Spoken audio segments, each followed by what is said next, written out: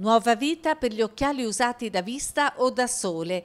Le lenti con gli anni si cambiano, le montature con la moda vengono superate e gli occhiali si accumulano, ma tante persone non riescono nemmeno a comprarli. Da questo parte l'utile iniziativa in 50 farmacie di Federpharma nel territorio di Verona in collaborazione con il Lions International. Sì, è una bellissima iniziativa alla quale aderisce Federfarma Verona con Lions della provincia di Verona e di Vicenza.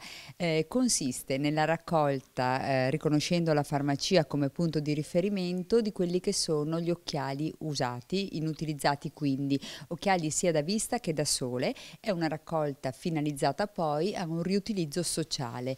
Infatti come Federfarma teniamo molto a eh, ricondurre la farmacia ad una aiuto ad una mano tesa verso il sociale. In questo caso gli occhiali vengono sterilizzati, vengono mandati sia all'estero sia in punti di ridistribuzione eh, del nostro paese dove vi sia la necessità e l'impossibilità a sostenere la spesa.